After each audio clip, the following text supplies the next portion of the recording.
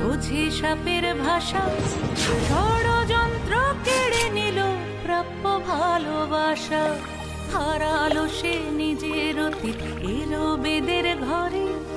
ফিরে এলো রাজার কুমার দশটি বছর পরে। এবার সময় হিসেবে নেবার, ভালোবাসা ফিরে পাবার। কন্যে আকুল হোসনা নাপতির কন্যে সেজন বুঝি সাপের ভাষা। ষড়যন্ত্র কেড়ে নিল প্রাপ্য ভালোবাসা। হারালো সে নিজের অতীত, এলো বেদের ঘরে। ফিরে এলো রাজার কুমার দশটি বছর পরে।